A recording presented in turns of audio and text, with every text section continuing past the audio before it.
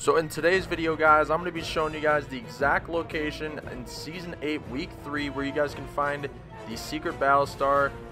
Uh, the challenge is called Search where the magnifying glass sits on the treasure map loading screen and guys I found the exact location right here right next to Polar Peak. As you guys can see it is literally right here on the map itself.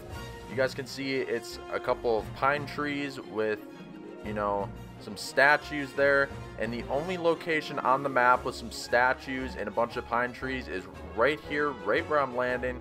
As you guys can see there it is. There are the three statues right there. One's a raven. It's obviously the frozen legends but as you guys can see there's a patch of grass right here just similar to a lot of the other patches of grass that we've seen a lot of these battle stars in.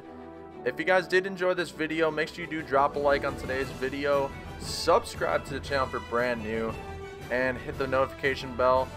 Make sure you comment your thoughts. Uh, just comment if you uh, if this video helped you out for real. Uh, anyways, yep, guys, I will see you guys in the next video. Peace out.